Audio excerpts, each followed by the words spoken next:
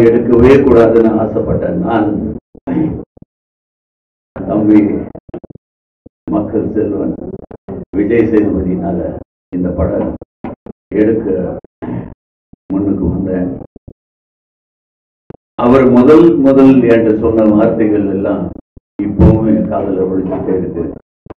நார்மலா யாராவது படம் ஃபர்ஸ்ட் காப்பி வாங்கும் போது என்ன சொல்லுவாங்கன்னா இந்த அமௌண்ட்டுக்கு படம் அப்படின்னு சொல்லுவாங்க. அந்த அமௌண்ட்டுக்கு நம்ம ஃபிக்ஸ் பண்ணிட்டு படத்தை வாங்குவோம். இவரோட வார்த்தையில் அந்த அமௌண்ட்ல கூட ஏதாவது உங்களுக்கு நஷ்டம் வந்துச்சுன்னா நான் தரேன் அப்படின்னாரு. எனக்கு அது பெரிய ஆச்சரியமான ஒரு விஷயமா இருந்துச்சு.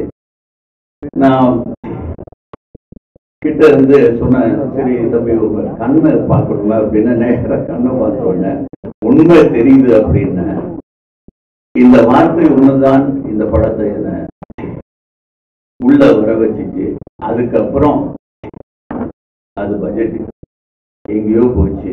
அதுக்கப்புறம் கூட தம்பி விஜய் சேதுபதி அசரல எதுவா இருந்தாலும் நான் பொறுப்பா இருப்பேன்னு சொன்னதுக்கு அப்புறம் நான் எந்த பேச்சு மூச்சு இல்லாம இன்னைக்கு இந்த பெரிய பட்ஜெட் இந்த பட்ஜெட்ல ஒரு படம் பண்றதுக்கு நான் பெருமைப்படுகிறேன் நான் சந்தோஷப்படுகிறேன். இது எல்லாத்துக்கும் இன்னொருத்தர் காரணமா இருந்தாரு டைரக்டர் பொதுவா எல்லாரும் சொல்லுவாங்க டைரக்டர் இந்த மாதிரி ஒரு பெரிய பட்ஜெட்டை இழுத்து விட்டாரு அப்படின்னு. அப்படி அல்ல. அவர் என்ன கதை வச்சிருந்தாரோ அந்த கதையை ஆரம்பத்துல இருந்து கடைசி வரைக்கும் அதே கதையில நின்னாரு. இந்த மாதிரி பெரிய பெரிய படம் எடுத்து எனக்கு சின்ன வயசுல இருந்தே பழக்கம். ரொம்ப நாளாக அதை நிறுத்தி வச்சுருந்தோம். இப்போ அந்த படம் எடுக்கும்போது அந்த படம் முடிக்கும்போது அந்த படம் பார்த்ததுக்கு பிறகு எனக்கு கொஞ்சம் கூட பயம் இல்லை. இந்த படம் மக்கள் மத்தியில் ஒரு பெரிய வரவேற்பு கொடுக்கும். அந்த காலகட்டத்தில் நாங்கள் ஒரு ரெக்கார்ட் பிரேக் கலெக்ஷன் பண்ணதை இந்த படம் பண்ணோம். இதுக்கு director producer I mean Vijay Sethupathi அது மட்டும் இல்லை இங்கே நடித்த மட் எல்லா ஆர்டிஸ்டும் சரண்யா மடோனா மற்றும் இந்த மியூசிக் டைரக்டர் பார்த்தா சின்ன குழந்தை மாதிரி இருக்காரு. படத்தை பின்னி இருக்காரு. Editor Sabu Joseph.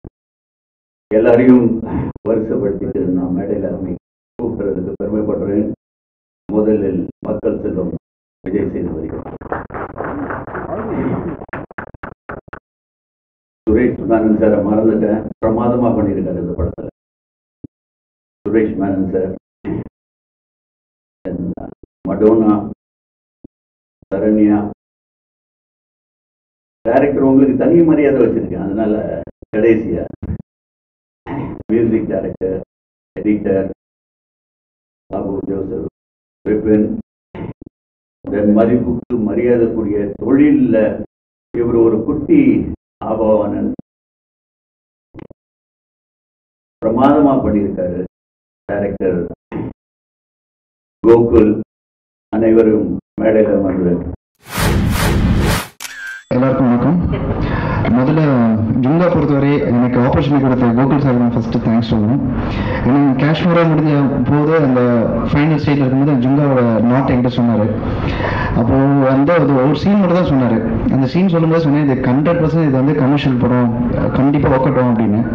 அப்புறம் போக போக பேசிகிட்டு இருப்போம். யார் ஹீரோ அப்புறம் ப்ரொடக்ஷன் யார் அப்படின்னு வரும்போது it's getting better and better day by day so இந்த ஸ்கிரிப்ட் இன்னைக்கு அன்னைக்கு சொல்லும் போதே எப்படி இருந்ததோ இன்னைக்கு அதை விட வேற லெவல் வேற மாதிரி வந்திருக்கு. So I'm really happy to be part of Jumba Vijay Sethupathi sir நான் நடுவில் கொஞ்சம் பக்கத்துக்கான ட்ரெயிலர் நான் தான் பண்ணேன். பண்ணும்போது வெளியில் இந்த ஆடியன்ஸாக ஃபர்ஸ்ட் டைம் அந்த படத்தை கூப்பிட்டு நிய ராஜ்குமார் சார் போட்டு காமிச்சாரு. ட்ரெயிலர் பண்ணுங்கன்னு சொல்லி. ஸோ அப்போ நான் வந்து tra- படம் பார்த்துட்டு வெளியே வரும்போது பயங்கரம் வேற நூல் இருந்தேன். செம்மையா இப்படி ஒரு படமா அப்படின்னு சொல்லிட்டு. ஸோ அப்போ ரொம்ப சிம்பிளாக அவர் அந்த பக்ஸ் கேரக்டர் எல்லாம் வெளியே பேசிட்டு இருந்தாங்க அந்த ஆஃபீஸ் வாசல்ல. அப்போ நான் போய் கை கொடுத்து பேசுவேன் சூப்பராக சார் படம் அப்படின்னு. ஆஹ் இன்னைக்கு அதே மாதிரி அவர் என்ன மறந்துட்டாரு பட் ஸ்டில் ரொம்ப நாள் கழிச்சு பார்க்கும்போது அதே மாதிரி அதே லெவலில் இருக்காரு. ஒரு பெரிய இன்ஸ்பிரேஷன் இருக்காரு யங்ஸ்டர்ஸ்க்கெல்லாம் ஸோ ஐம் ரியலி ஹாப்பி அவரோட திருப்பி இந்த படத்தில் ஒர்க் பண்ணுறது நினைக்கும் போது அண்ட் அதுக்கப்புறம் இந்த காம்பினேஷன்ல சரண்யா மேடமும் விஜய் சேது சார் பண்ற காம்பினேஷன்ஸ் எல்லாமே இந்த சீன்ஸ்ல வந்து தெரிக்கும். தியேட்டர்ல வந்து அவ்வளோ என்ஜாய் பண்ணி பண்ணலாம். அவங்க வந்து ஃபர்ஸ்ட் டைம் சென்னை ஸ்லாங் பண்ணியிருக்காங்க. அப்சல்யூட்லி அதான் சொல்லுவேன். எங்கள் அசிஸ்டன்ஸ் நான்லாம் சரி ஆஃபீஸில் அந்த சீன் என்னைக்கு எத்தனை படம் பார்த்தாலும் ஒரு மியூசிக்காக படம் பார்த்தாலும் சரி சவுண்ட் எஃபெக்ட்ஸ் போட்டு படம் பார்த்தாலும் சரி அவ்வளோ என்ஜாய் பண்ணி படம் பார்ப்பாங்க அந்த போர்ஷன்ஸும் அப்புறம் வந்து சுரேஷ் மேனன் சாரோட சீன் அந்த ரெண்டு பேரும் ஒரு எட்டு நிமிஷம் சீனாக இருந்தாலும் அப்படி தூக்கி நிற்கிற மாதிரி ஒரு சீன் இருக்கும் அது. ஆடியன்ஸ் வந்து அவ்வளோ என்ஜாய் பண்ண அந்த சீன்ஸ்லாம் ஸோ கம்ப்ளீட்லி இட்ஸ் ஃபேமிலி சொன்ன மாதிரி ஃபேமிலி பாண்ட் என்டர்டைன்மெண்ட் ஃபிலிம் தான். அப்புறம் சித்தார்த் பிபினோட ஒர்க் பண்ண அனுபவம். ஏன்னா இதை நானும் வந்து சேர்ந்து ரெண்டாவது படம் பண்ணுறோம் அப்புறம் வெளிப்பண்ண லிரிக்ஸ் அப்புறம் ரெண்டு heroines Yogi Babu. So full பேக்கில் இருக்கும். ஸோ அப்புறம் இதுக்கெல்லாம் மீறி அருள் பண்ணி சார் ஸோ ஒவ்வொரு நிமிஷமும் ட்ரெயிலர் பார்க்கும்போது சூப்பராக இருக்குங்க நல்லா இருக்குங்க அப்படின்னாரு. ஒரு மோட்டிவேஷன் ஃபேக்டராக இருக்கும் அவரோட அவரோட ஃபோன் கால்ஸும் சரி அவரோட பேசும்போதும் சரி. So thanks lot sir so entirely இந்த படம் வந்து ஃபேமிலி என்டர்டைன்மெண்ட் ஃபிலிமாக இருக்கும். நம்புறோம் தேங்க்யூ எல்லோருக்கும் மாலை வணக்கம். ஜுங்காங்கிற இந்த பிரம்மாண்டமான படத்தில் ஆறு பாடல்கள். ஆறும் ஆறு விதமாக இருக்கும். ஒரு இசை கொண்டாட்டமாக இருக்கும். இசையமைப்பாளர் சித்தார்த் விபின் கோகுல் சார் நான் கம்போசிங் போனோம்னா வேலை பார்க்க போகிற மாதிரி இருக்கு ஒரு ஃப்ரெண்ட்ஸ் கூட பிக்னிக் போகிற மாதிரி ரொம்ப ஜாலியாக இருக்கும். ஈஸியாக ஒவ்வொரு பாட்டும் ரொம்ப ஈஸியாக டியூனும் சரி லிரிக்கும் சரி உடனே உடனே ஓகே அனுப்பிச்சு நல்லா வந்திருக்கு. பாடல் வரிகள் பார்த்தீங்கன்னா போகாத சாலை பொன் வேலை வான் காணா வானிலை நேராத ஏதோ நேரலைன்னு கவிதையான வரிகளும் இருக்கு. காட்சி பொய்யாகும் கனவெல்லாம் மெய்யாகும். மனதில் பசி வந்தால் உன் கனவே உணவாகும்னு கருத்தோடையும் இருக்கு. லோலிக்கிரியா லோலிக்கிரியான்னு கலாய்க்கிற மாதிரியும் ஒரு பாடல் இருக்கு. சொம்பு தண்ணியை எடுத்துட்டான் மிச்சம் பண்ணி குளிச்சுட்டான் பண்ண டீயில் நினச்சிட்டான் டின்னர் அதில் முடிச்சிட்டான்னு கதாபாத்திரத்தோட தன்மையை சொல்கிற பாடல்களும் இருக்கு. வாயை கட்டி வைத்த கட்டி வாழுகிற சிங்கக்குட்டின்னு ஒரு பாட்டி ராக் ஸ்டார் ரமணியம்மாள் பாடியிருக்காங்க. அந்த பாடல் நல்லா ரீச் ஆயிருக்கு. ஸோ ஆறு பாடலும் ஆறு விதமாக வந்திருக்கு. ரொம்ப நல்லா வந்திருக்கு படமும். இது வந்து ஊடகங்களின் காலம். நீங்கள் நினச்சா ஒரே காணொலியில் பிஜிலி ரமேஷையும் பிரபலமாக்கிறீங்க ஒரே ஒரு ஷோவில் ராக்ஷா ரமணியம்மாலும் பிரபலமாக்கிறீங்க ஒரே ஒரு செய்தியில் ஒரு திருவள்ளூர் மாவட்டத்தில் எங்கேயோ இருக்கிற பகவான்கிற ஆசிரியரையும் வெளிச்சத்துக்கு கொண்டு வந்துறீங்க ஸோ இது ஊடகங்களின் காலம். உங்களுடைய சப்போர்ட் இந்த படத்துக்கு வேணும். ஏன்னா கோகுல் சாரோட உழைப்பு விஜய் சேதுபதி சாரோட அர்ப்பணிப்பு எல்லாத்துடைய இந்த டீமோட பங்களிப்பு குறிப்பாக இந்த டீம் வந்து எனக்கு ஒவ்வொரு தடவை எடிட் ஷூட் போகும்போதும் சரி ஸ்பாட்டுக்கு போகும்போதும் சரி உதவி இயக்குனர்களும் உதவி படத்தொகுப்பாளர்களும் ஒவ்வொரு வரியும் சொல்லி சொல்லி என்னை பாராட்டுவாங்க. ரொம்ப அதெல்லாம் எனக்கு ஒரு உற்சாகத்தை கொடுத்தது. ஒரே ஒரு விஷயம் மறைந்த கவிஞர் ஜெயந்தி குமார்னு அதிகம் வெளியில் தெரியாதவர். அவர் எழுதின ஒரு கவிதை இருக்குது அகப்பட்டுக்கொள் வண்ணத்து பூச்சியே வழியறியா சிறுவனை எங்கே அழைத்து செல்கிறாய்ன்னு ஒரு மூணு வரியில ஒரு பிரமாதமான ஒரு கவிதை இருக்கு. அந்த மாதிரி தான் நான் இந்த ஒரு மாநகரத்தில் ஒரு வண்ணத்து பூச்சியை நோக்கி போயிட்டு இருக்க ஒரு சிறுவனா கிட்டத்தட்ட ஆஹ், ரெண்டாயிரத்துல நான் சினி ஃபீல்டில் தான் இருக்கேன்.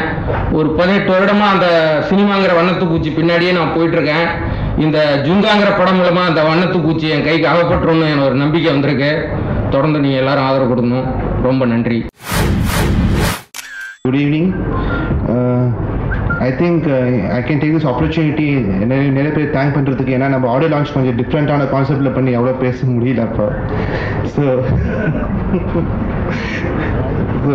ஓகே சீக்கிரம் பேசு so firstly thank you to I think my director Gokul sir more than director he's like a brother to me அவரோட செகண்ட் மூவி நான் பண்ணுறேன் and it was a fantastic opportunity Junga and with Sethu I think my third movie என்கேபிகேன் Balakumara முடிஞ்சு. இனி பேச I think Junga பற்றி அவ்வளோவா இல்லை நான் எல்லாருமே எல்லாமே சொல்லியாச்சு. ஆனால் Junga is a fantastic movie totally commercial fun fill movie and musically musically செம்ம ஆப்பர்ச்சுனிட்டி எனக்கு ஏன்னா five to six different songs ரொம்ப டிஃப்ரெண்ட்டாக வந்திருக்கு.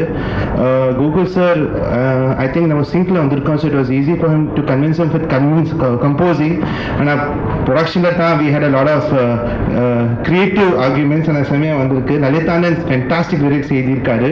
I think he's one my favourite lyrics today Dudley sir அவரோட கேமரா ஒர்க் அமேசிங்காக இருந்தது. And we are missing him today so I thank this team Vijay Sethupathi as a producer, uh, actually as a producer, I thought, I think he gave all the creative freedom for us. And then Arun Pandian sir, each time Arun Pandiya sir கூடும்போது super ஃபன்னாக இருக்கும் அமேசிங்காக இருக்கும் ஏன்னா apart from all the experience he has அவருக்கு fantastic sense of humour இருக்கு and as Madonna said she was supposed to sing for me one song but at, at least I tell her always that she at least going to dance my tune so as a team நம்ம ஒரு ஃபேமிலியாக இருக்கோம் இங்கே with Sabu's editing with uh, with I think even till our PRO Yuvaraj I think the whole team has done a great job so I thank you all very much and I hope you support us thank you எல்லாரும் நம்மளை பற்றி பேசியிருந்தாங்க. அதனால் அது mic தான். கேட்குதா எல்லாருக்கும் வணக்கம். ஆம், ஜுங்கா வந்து ஆரம்பிக்கும் போது ஒரு ஃபஸ்ட்டு படம் மாதிரி நான் எனக்கு ஆச்சு ஆக்சுவலாக எனக்கு ரவுத்திரம் கூட நான் அவ்வளோ நரேஷன்லாம் போகல கதை சொல்கிறதுக்குலாம் பட் ஜுங்கா வந்து again I felt like a first film ஏன்னா இந்த படத்தோட ஸ்பேன் அந்த மாதிரி இருந்தது. அவ்வளோ பொருள் செலவு தேவைப்பட்டது இந்த படத்துக்கு. அதை கன்வின்ஸ் பண்ணுற முயற்சியில் நான் நிறைய ட்ரை பண்ணிட்டு இருக்கும்போது தான் ஒரு நாள் விஜய் வந்து கூப்பிட்டு சொன்னார் இல்லை இது நாமளே பண்ணிடலாம். ஏன் இவ்வளோ கஷ்டப்படுறீங்க? நம்ம பண்ணிடலாம். எனக்கு நம்பிக்கை இருக்குது அப்படின்னு சொல்லிட்டாரு. அவருக்கு அப்போ வந்து கதையில் ஒரு லைன் மட்டும் தான் சரி தெரியும் அவருக்கு. ஸோ அதான் விஜய். வெறும் அந்த அந்த ட்ரஸ்ட் தான் அந்த விஜய். ஏன்னா ஆஹ் சரி ஓகே நம்ம ஆரம்பிக்கலாம் ட்ரை பண்ணும்போது சரி யாராவது ஃபினான்ஷியர் வச்சு போகலாம் அப்படின்னு பேசிகிட்டு இருக்கும்போது திடீர்னு விஜய் சொன்னது அருண் பாண்டியன் சார் வந்து இந்த படத்தை அவரும் நம்ம கூட சேருன்னு சொல்லிட்டாரு. அவர் இஸ் ஜாயினிங் எஸ் இந்த ஃபிலிம் அப்படின்னு சொன்னார். எனக்கு அவரை பற்றி அவ்வளோ தெரியாது. எனக்கு எனக்கு I not been into any contacts கிடையாது அவர்கிட்ட. ஸோ அதனால் சரி ஓகே கரெக்டாக வரணும்னு நினச்சிட்டு இருந்தேன். பட் அருண் பாண்டியன் சார் இந்த படத்துக்குள்ளே வந்ததை விட பெஸ்ட் திங் இந்த படத்துக்கு எதுவுமே கிடையாது. Is the best thing happen for the film ஏன்னா சி ஒரு ஒரு டைரக்டருக்கும் கேமராமேனுக்கும் இருக்கிற கெமிஸ்ட்ரிலாம் விட ஒரு டைரக்டருக்கும் ப்ரொடியூசருக்கும் உள்ள ஒரு நல்ல ரிலேஷன்ஷிப் இருக்கும் அந்த அந்த சந்தோஷம் வந்து படம் எடுக்கும் போது இல்லை முடிக்கும் போது இருக்கணும். படம் ரிலீஸ் ஆன பிறகும் இருக்கணும். ஸோ அந்த மாதிரி ஒரு ரிலேஷன்ஷிப் தான் அருண் பாண்டியன் சார் அதை ஏற்படுத்த விஜய் சேதுபதிக்கு வந்து மிகப்பெரிய நன்றி. அண்டு இந்த ஜும்பா பொறுத்தவரையும் நான் வந்து எந்த படமும் நான் வந்து ஃபர்ஸ்ட் ஷோ போய் பார்க்க மாட்டேன் ஆக்சுவலாக எனக்கு எப்பவுமே அந்த ஒரு பயம் இருக்கும். ஏன்னா நம்ம ரொம்ப நேசித்து ஆசைப்பட்டு எழுதின விஷயத்த வந்து அவங்க எப்படி எடுத்துப்பாங்க தெரியாது ஆடியன்ஸ் ஆனால் ஜுங்காவில் மட்டும் நான் ரொம்ப கான்ஃபிடெண்ட்டாக சொல்லுவேன். நான் ஃபர்ஸ்ட் ஷோ போய் பார்ப்பேன். எனக்கு வந்து முழு நம்பிக்கை இருக்குது ஜுங்காவில் என்னென்னா நான் கான்ஃபிடென்ஸ் சொல்கிற விஷயம் வந்து வேற ஒன்றும் இல்லை விஜய் சேதுபதி. இந்த படத்தில் வந்து விஜய் சேதுபதிக்கு எது பெஸ்ட்டாக வருமோ அந்த விஷயங்கள் மட்டும் தான் இந்த படத்தில் இருக்குது அதனால் விஜய் நான் அதுக்கப்புறம் பாலகுமாராக்கு அப்புறம் நிறைய படங்கள் விஜய் சேதுபதி பார்த்துருக்கேன். எங்கெல்லாம் ரசிகர்கள் அவரை வந்து கொண்டாடுறாங்களோ அந்த மாதிரியான காட்சிகள் மட்டும்தான் இந்த படத்தில் இருக்குது அது வந்து இந்த கதையோட அம்சத்தில் தானாக அமைஞ்சது. இது வந்து இவரை தவிர வேறு யாராலையும் பண்ண முடியாது இந்த ரோல். அப்படி ஒரு பெர்ஃபார்மன்ஸ் கிளைமேக்ஸில் வந்து ஒரு அஞ்சு நிமிஷம் போகும் ஆக்சுவலாக அது வந்து ஒரு எட்டு நிமிஷம் எடுத்து நம்ம ட்ரிம் பண்ணி ஒரு ஃபைவ் அண்ட் ஆஃப் மினிட்ஸ் இருக்குது அந்த சீன் அவர் ஆக்சுவலாக சிங்கிள் ஷாட்டாக தான் நடித்தார் அந்த அந்த ஷாட் வந்து. ஏன்னா இன்னும் ஞாபகம் இருக்குது ஆஸ்ட்ரியாவில் ஷூட் பண்ணிட்டு இருந்தோம் அந்த ஷாட்டை அந்த பனியில் வந்து காலிலேருந்து ஷூட் பண்ண முடியல. வெஹிக்கல்லாம் மாட்டிக்கிச்சு. படத்தோட முக்கியமான சீன் அதுக்கப்புறம் அதை எடுக்க முடியாது. நான் நெக்ஸ்ட் டேலாம் ஐ கேனாட் போஸ்ட் அந்த சீன் நான் பண்ண முடியாது. அங்கே பெர்மிஷன் இல்லை. நெக்ஸ்ட் டேலாம் அங்கே எடுக்க முடியாது. ஸோ அந்த மாதிரி சூழ் சூழலில் ஒரு எட்டு நிமிஷம் சீனை வந்து கிட்டத்தட்ட ஒரு முப்பத்தி எட்டு பேஜ் அப்படி சிம்பிளாக அவர்கிட்ட கொடுத்துட்டு இதான் விஜய் செய்து சீக்கிரம் ரெடி ஆகிடுங்க அப்படின்ட்டேன் அட பாவி மனுஷா அப்படின்னு நான் பார்த்துருந்தாரு. பட் நம்பிக்கை எனக்கு தெரியும் இவர் பண்ணிட்டு இருந்தேன் ஏன்னா எனக்கு என்ன வருமோ அது அவருக்கு ஈஸியாக வந்துடும் ஸோ அது பிரச்சனை கிடையாது எனக்கு தெரியும். அதான் ஒரு ஒரு ஒரு ஒரு ஆஃப் அன் ஹவர் படிச்சிருப்பார் சீனு அதுக்கப்புறம் கேம் அண்ட் ஆக்ட் நான் இந்த படம் பொறுத்த வரைக்கும் நான் இதற்கு தான் ஆசைப்பட்ட விளக்குமாரில் வந்து நான் நிறைய விஷயங்கள் அவருக்கு நான் சொல்லியிருக்கேன். இது இப்படி பண்ணணும் அப்படி வரணும் எவ்வளோ விஷயங்கள் நான் சொல்லியிருக்கேன் அவருக்கு. பட் ஆனால் இந்த படத்தில் வந்து ஐ ஜஸ்ட் கொடுத்துட்டு அப்படியே ரசித்து மானிட்டர் பார்த்துட்டு இருந்தேன். அந்த வேலை மட்டும் தான் பண்ணிட்டு இருந்தேன். ஏன்னா என்னோட வேலை ரொம்ப சிம்பிள் ஆகிடுச்சு ஏன்னா நான் என்ன நினைக்கிறேனோ அது அவருக்கு தானாக வருது. அது. அந்த சீனை வந்து ஒரு ஒரு ஃபார்ட்டி ஃபைவ் மினிட்ஸில் முடிச்சிட்டார் அவர். அவ்வளோ ஸ்பீடாக எடுத்தோம் அந்த சீன் அது. அந்த சாயிஷாவும் அந்த கோலில் வந்து ஷி கோஆப்ரேட்டட் வே வேறு ஹீரோயின்லாம் அந்த அளவுக்கு வந்திருப்பாங்கன்னு தெரியாது. அந்த மாதிரி கோஆப்ரேட் பண்ணாங்க. ஸோ விஜய் வந்து அப்படி ஒரு பெர்ஃபார்மன்ஸை கொடுத்துருக்காரு. ஸோ அந்த படம் லாஸ்ட் பத்து நிமிஷம் அவர் பயங்கர எமோஷனாக பேசிகிட்டு இருப்பாரு. ஆடியன்ஸ் ஃபுல்லாக சிரிச்சிட்டு இருப்பாங்க. அதான். சீனோட ஐடியா ஸோ அதனால் அது அப்படி ஒரு சீன் அது. ஸோ லவ் இட் ஏன்னா ஜுங்கா வந்து அந்த விஜய் சேதுபதி அவர் அதுக்கப்புறமா வந்து யோகி பாபு அவங்க இவங்க ரெண்டு பேர் காம்பினேஷன் சீன்ஸ்லாம் வந்து will be treat to watch அந்த மாதிரி இருக்கும். அண்டு இந்த படத்தில் புதுசாக என் கூட சேர்ந்த சரண்யா மேடம் அவங்க சொன்னாங்க இல்லையா எனக்கு ரொம்ப கஷ்டமாக இருந்தது நடிக்கிறது. அதெல்லாம் அவங்க சொன்னாங்க. பட் ஆனால் அவங்க நடிச்சது எப்படின்னா அவங்கள தாண்டி வேறு யாரும் யோசிக்கவே முடியாது. அந்தளவுக்கு நடிச்சிருக்காங்க இந்த படத்தில் அவங்க. நாங்கள் ஒவ்வொரு வாட்டி எடிட்டில் நாங்கள் போட்டு பார்த்துட்டு இருக்கும்போது அந்த ஃபுல் டீம் வந்து அப்படி ஒரு லாஃப்டர் என்ன இப்படி நடிக்கிறாங்க அவங்க? அப்படின்ற மாதிரி. ஏன்னா அவங்க ஸ்டைல் கிடையாது. அவங்க ஏற்கனவே இதுக்கு முன்னாடி படத்துக்கு படங்களை பண்ண ஸ்டைல் கிடையாது. பட் அந்த புது ஸ்டைலை வந்து கன்வின்சிங்காக பண்ணுறதுன்றது ரொம்ப கஷ்டம். அதை அவங்க ரொம்ப டிட் இட் வெரி ஈஸிலி அந்த ஃபஸ்ட் டே மட்டும் உள்ள அடாப்ட் ஆகிறதுக்கு கொஞ்சம் டைம் எடுத்தாங்க. பட் அதுக்கப்புறம் no looking back she did really well ரொம்ப நல்லா பண்ணாங்க. அண்ட் நடு சென்டரில் குதிச்சாங்க. அப்படி சொல்லணுமா அவங்களுக்கு அவங்க ஃபுல்லாக அந்த ஸ்லாங்கில் வந்துட்டாங்க. நார்மலாக பேசும்போது அப்படி தான் பேசுகிறாங்க அண்ணா வா அண்ணா அப்படின்வாங்க அதனால் she did really well and Madonna மடல் ஃபஸ்ட்டு கதா அவங்க ஃபியூ சீன்ஸ் வராங்க. சிஸ்டர் கேமியோ அப்பியரன்ஸ் தான். ஒரு ஒரு ஒரு மூணு நாலு சீனு அண்ட் ஒன் சாங் அவ்வளோதான் வராங்க.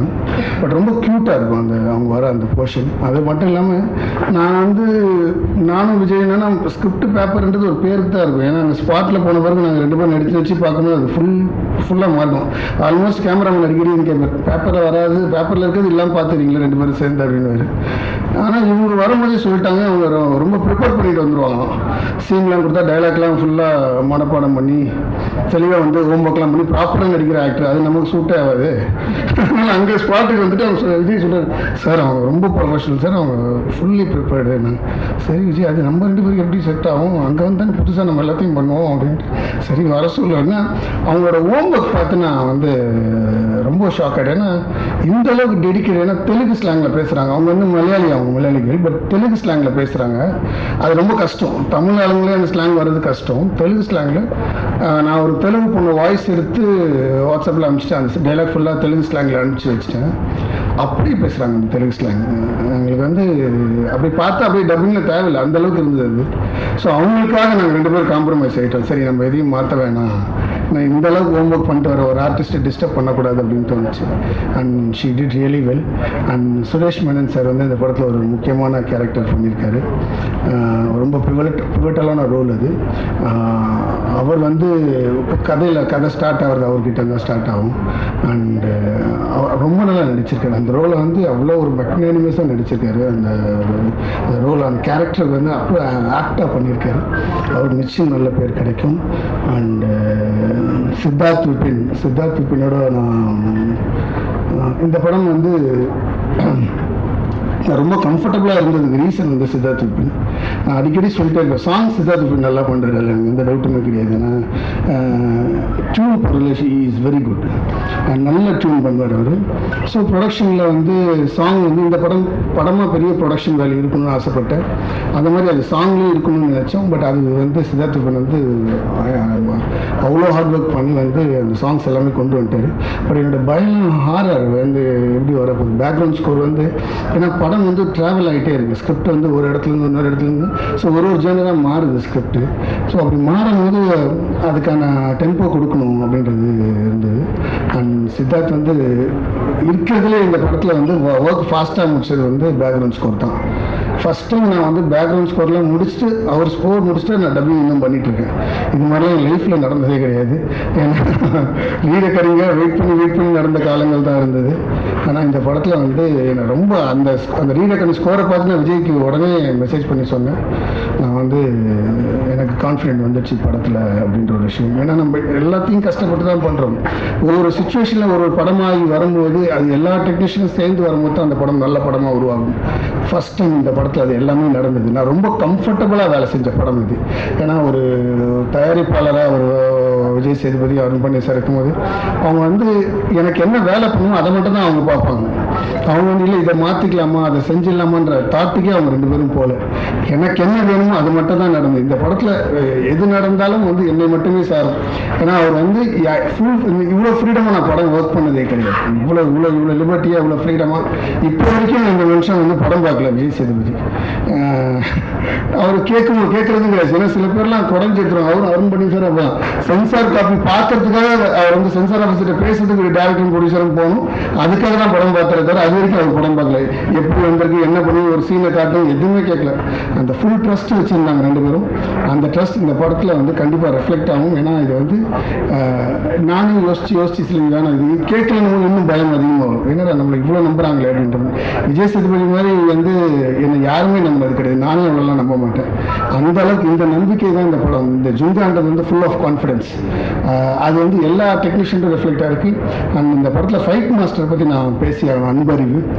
ஏன்னா நாங்கள் ஃபஸ்ட் டைம் வந்து எல்லாமே இதில் வந்து ஃபாரின் சீக்வன்ஸில் தான் most of the action sequence இருக்குது அப்போ வந்து ஃபாரின் மாஸ்டர்ஸ்லாம் பேசிட்டோம். நம்ம ஆல்ரெடி பேசி வந்து இவங்க வந்து சும்மா ஹெல்ப்புக்கு தான் வர மாதிரி தான் இருக்குது சுச்சுவேஷன் அப்படி தான் இருந்தது. பட் அங்கே போன பிறகு அவங்க பண்ணுற அவங்க கொரியோகிராஃப் பண்ணது எனக்கு சுத்தமாக பிடிக்கல. அண்ட் மூணாவது அந்த ஒர்க் எக்ஸிபிஷன் வந்து நம்ம ஸ்பீடு வரவே இல்லை. அப்புறம் நம்ம மாஸ்டர் அன்பு வந்து இறங்கி அவர் பண்ணது ஏன்னா அவங்களால ஒரு ஒரு கார் ஷாட் வந்து டாப்லாகி அது ஃப்ளிப் ஆகணும். அந்த ஷாட் வந்து பண்ணுறதுக்கு அவங்களால முடியல. அவர் ரெண்டு நாளாக ட்ரை பண்ணி முடியாத ஷாட்டை ரெண்டே மணி நேரத்தில் நம்ம அன்பு மாஸ்டர் பண்ணார். ஸோ அதனால் அவர் இங்கே இல்லைனாலும் அவரோட ப்ரெசன்ஸ் வந்து இந்த படத்தில் வந்து அப்படி இருக்கும். ஏன்னா என்னால் மறக்கவே முடியாது. ஏன்னா அவ்வளோ டஃப் சுச்சுவேஷனில் ஏன்னா அந்த கிளைமேட் அந்த weather, அவ்வளோ அவங்க எதையும் பொருட்படுத்தாமல் இந்த படம் நல்லா வரணும்னு மட்டும் யோசிச்சு அன்பரி வந்து அவ்வளோ அழகாக இந்த படத்தில் ஃபைட் கொரியோகிராஃப் பண்ணி கொடுத்துருக்காங்க. மிகப்பெரிய நன்றி. அண்ட் டட்லி டட்லி வந்து எப்படி சொல்கிறது இதுவரை எல்லா படத்துக்கும் ஒரு ஃபஸ்ட் என்னுடைய எல்லா நாலு படத்துக்கும் நாலு கேமராமேன் தான். இந்த படம் டட்லி அப்படின்னு வரும்போது இப்படி ஒரு இவ்வளோ திறமையும் எளிமையும் ஒரே இடத்துல நான் பார்த்ததே கிடையாது. அப்படி ஒரு டேலண்ட் ஏன்னா எனக்கு சொல்லும்போது பெரிய பெரிய படங்கள் பண்ணியிருக்கேன் ஷாருக் கானோட ரெண்டு படம் பண்ணியிருக்காரு அக்ஷய்குமாரோட படம் பண்ணியிருக்காரு. ஸோ நம்மக்கிட்ட வரும்போது நான் யோசித்தேன் இது எவ்வளோ சிங்க்ரனைசேஷன் வருவாருன்னு யோசிக்கும் போது இவ்வளோ கம்ஃபர்டபுள் இது எந்த கேமராமும் கூட நான் இருந்ததில்லை. இனிமேல் அடுத்த படம் இவரை தாண்டி நான் போவேனான்னு எனக்கு தெரியல. ஏன்னா அந்த அளவுக்கு அவர் அவர் டேட்டுக்காக நான் வெயிட் பண்ணுவேன் அடுத்த படம் பண்ணுறேன்னா அந்த அளவுக்கு எனக்கு கம்ஃபர்டபுளான ஒரு சினிமாட்டோகிராஃபர் இந்த இந்த ஸ்பேனை வந்து ஏன்னா நான் நான் யோசிச்செல்லாம் ப்ரொடியூசர் காசு கொடுத்தெல்லாம் அந்த ஸ்பேனை வந்து விஷுவல் விஷுவல் கொண்டு வர்றது வந்து சினிமாட்டோகிராஃபர் பெரிய பொறுப்பு. அண்ட் அவர் ரொம்ப அவர் ரொம்ப ஈஸியாக ஈஸிலி பண்ணார் ரொம்ப கஷ்டமான விஷயத்தில் ரொம்ப ஈஸியாக பண்ணிடுவார் ஸோ அவர் பிக்கெஸ்ட் ப்ளஸ் இந்த ஃபிலிம் அண்ட் இந்த நேரத்தில் அவருக்கு தேங்க்ஸ் சொல்லிக்க விரும்புகிறேன் அண்ட் சாபு ஜோசப் எடிட்டிங் என்ன காஷ்மீரா கூட இருந்தார் அண்ட் அகைன் இந்த படம் வந்து நான் காஷ்மீரா பண்ணும்போது சொன்னேன் நீ தான் நெக்ஸ்ட் பண்ணுவேன்னு. ஏன்னா ஒரு ஒரு ஃப்ரெண்ட்லி ஒரு ஒரு க்ளோஸ் டு ஆர்ட் பர்சன் ஏன்னா இப்போ நிம்மதியாக இருக்கலாம் வேலை செய்யும் போது சாபு இருக்கும்போது. எனக்கு அந்த லென்த்லேருந்து சரி ஷார்ட் ட்ரிம்மிங் ஒரு சாங்களோட சாங்கில் எங்கெங்கே கட் அந்த எல்லா டெடிகேஷனும் சாபு கிட்ட இருக்கும். நான் சொல்கிறதுக்கு கூட அதை செஞ்சு வச்சுட்டு வெயிட் பண்ணிட்டு இருப்பாரு.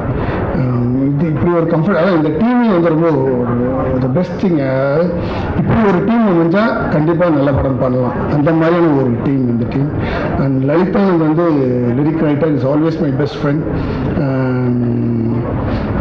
அவரோட இ டிசர்வ் பெட்டர் பிளேஸ் இந்த இண்டஸ்ட்ரி ஏன்னா நீங்கள் சாங்கில் இருக்க லிரிக்ஸ் அந்த வரிகளை பார்த்தீங்கன்னா அந்த வரிகளோட வீரியம் வந்து அவர் எனக்கு ஏன்னா இந்த எந்த ஒரு இந்த ஒரு ஒரு சாங் ஒரு ஒரு ஒரு சாங் வந்து வைரம் சார் நல்லா இருந்தார் ஒரு சாங் ஒரு சாங் வந்து மதன் கார்கி கிட்ட போகலாம் ஒரு சாங் யார்கிட்டயும் போகலாம். ஆனால் பட் எல்லாமே நம்ம லலிதானந்த் கிட்ட பார்ப்போம். நமக்கு எல்லாமே அவர் தான் ஸோ என்ன சுச்சுவேஷனாலும் லலிதா ஏன்னா எனக்கு எத்தனை நூறு பல்லவி நூறு சார்னு எழுதுமோ சலிக்காமல் எழுதுவார்.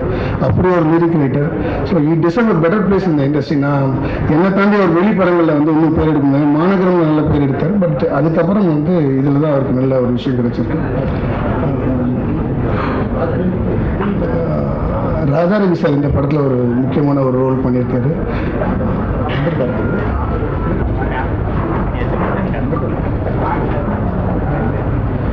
ராதரேசன் முக்கியமான ரோல் பண்ணியிருக்கேன் நீங்கள் என்ஜாய் பண்ணுவீங்க அவரோட சீன் வந்து.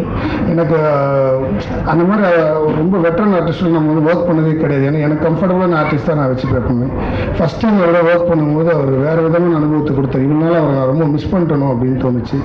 அந்த மாதிரி ஒரு பெர்ஃபார்மன்ஸ் கொடுத்துருக்காரு. நான் யூ கேன் வாட்ச் இந்த மூவி ஒரு வாழ்ந்துகிட்ட டான் அவர் அவர் இந்த படத்தில். கலக்கிட்டார் சும்மா சொல்லக்கூடாது. காலையில் ஷூட்டிங்னா காலைல மணி வரும் வரணும் காலைல ஒரு பதினொன்று மணிக்கு வந்துடுங்க சார் அப்படின்னு சொன்னேன். பதினொன்று மணி ஷார்ட்ன்ற மாதிரி சொல்லிட்டு வந்துட்டேன். பட்டு வந்துருவாருன்னா ஒரு பதினொன்று மணி வந்து ரெடியாகி மேக்கப்லாம் போட்டு ரெடி ஒரு பன்னெண்டு ஆகும். ஸோ அது வரையும் நம்ம வேறு ஷார்ட் எடுக்கலான்னு பார்த்தா அவர் பத்துக்கே வந்துட்டார். அது மேக்கப்லாம் போட்டு வந்துட்டார். சரி ரெடி ஆகும்னு சொன்னால் அவர் ஃபுல் ரெடியாக உட்காந்துட்டு இருக்காரு. மரலம் பண்ணுற லுக்கில் வேணும்னு கேட்டேன். ஆல்ரெடி அந்த லுக்கில் ஷேவ்லாம் பண்ணிட்டார் அந்த கெட்டப்புக்காக இது என்ன ரெடி சொல்லலான்னு பார்த்தா ஃபுல் ரெடி இதுங்களும் எங்கே ரெடி சொல்கிறது அவ்வளோதான் என்னப்பா ரெடி ஆனது? இல்லை சார் ஒரு நிமிஷம் முடிச்சிட்டேன்னா இன்னும் ரெண்டாம் மணி நேரம் எனக்கு வேறு ஒரு ஷார்ட் எடுத்தாங்க அதை முடிக்காம இந்த ஷார்ட்டுக்கு போக முடியாது. அப்புறம் ஒரு ஒரு மூணு மணிக்கு தான் வேலையை கூப்பிட்டு போனேன். காலைல சாயந்தரம் ஆறு மணிக்கு விட்டுறேன்னு சொல்லி தான் கூப்பிட்டு வந்தேன். மிட் நைட் ஒரு மூணு மணிக்கு விட்டேன் நினைக்கிறேன். நல்லா நான் சந்தேகப்படாம நான் செஞ்சுட்டேடா அப்படின்னாரு. அவர் ஸ்டைலில் சொன்னார். அண்டு ரொம்ப க்ளோஸ் டு ஆர் பர்சன் ஆகிட்டார் ஏன்னா நல்ல பெர்ஃபார்மரா நல்ல பெர்ஃபார்மர் எப்பவுமே நல்லா ஈஸியாக செஞ்சு தருவாங்க நம்மக்கிட்ட அந்த மாதிரி ஒரு விஷயம். அண்டு சாயிஷா ஹீரோயின் ரொம்ப நல்லா பண்ணியிருக்காங்க இந்த இந்த படத்தில் ஆடியோ லான்ச்லேயே சொல்லி நினைக்கிறேன் ஸோ ராஜு மாஸ்டர் எப்பவுமே என்னுடைய படங்கள் பாலகுமார்லேருந்து இஸ் அசோசியேட்டட் அதான் ராஜ்நிவாசன் ஷூட்டிங்கில் சொல்லிகிட்டே இருப்பார். நானும் டட்லி ராஜு அப்படியே ஒரு ஃப்ரெண்ட்ஷிப்பில் இருந்தோம். அவர் சொல்லிட்டு இருப்பாரு மூணு பேரும் மாற்றி மாற்றி கலாய்க்கிறது ஓடிட்டு இருக்கோம். அவர் சொல்லி மூணு பெஸ்ட் ஃப்ரெண்ட்ஸ் அண்ட் மூணு three best friends and three best enemies together அப்படின்னு எங்கள் மூணு பேரை சொல்லும் போது அண்டு எப்பவுமே அவர் எனக்கு பெரிய ஸ்ட்ரென்த்தாக இருப்பார். அண்ட் இந்த படத்தில் ஸ்ரீதர் ஒரு ரெண்டு சாங் பண்ணியிருக்காரு. ஸோ ஸ்ரீதரும் டன் வெரி குட் ஜாப் இந்த ஒரு Sridhar master and Raju master ரெண்டு பேருக்கும் என்னுடைய நன்றி தெரிவிச்சது ஆர்ட் டைரக்டர் மோகன் இல்லை இல்லைங்க வரல ஆர்ட் டைரக்டர் மோகன் வந்து ஃபஸ்ட் டைம் என் கூட ஒர்க் பண்ணுறாரு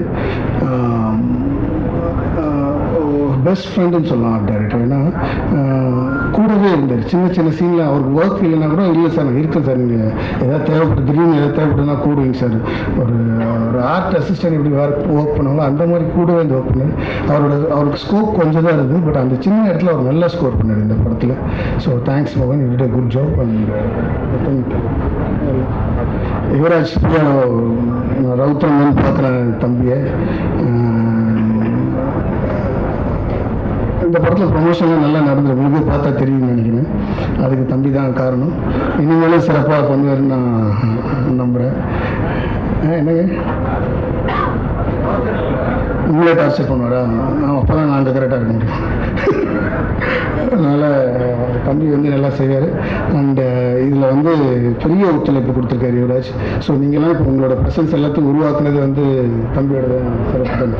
தேங்க்ஸ் யுவராஜ் அண்டு உங்கள் எல்லாருக்கும் என்னுடைய சிரம் தாழ்ந்த வணக்கங்கள் நல்ல படத்தை கொண்டு போய் சேர்க்கறதுக்கான பெரிய பொறுப்பு உங்ககிட்ட தான் இருக்குது ஸோ இது வந்து ஒரு ஃபுல் யூமரஸ் ஃபிலிம் ஏன்னா என்ன மாதிரி படம் ப்ரொஜெக்ட் பண்ணுறது பிறகு என்ன டார்கெட் ஆடியன்ஸ் என்னன்றது முக்கியம்.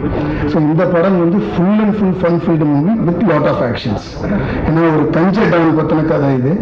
அந்த கஞ்ச டவுன் வந்து ஒரு லைனாக சொல்லிடுன்னா அந்த கஞ்ச டவுன் தன் இலக்கை அடையிறதுக்காக வெளிநாடு செல்ல வேண்டிய கட்டாயம்.